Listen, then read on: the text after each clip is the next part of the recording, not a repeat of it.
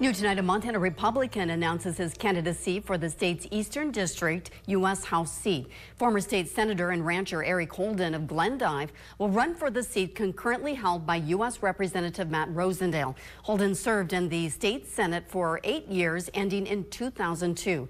His family has been ranching in Dawson County for 33 years. He's a graduate of MSU and a former member of the U.S. Air Force Reserve Officer Training Corps.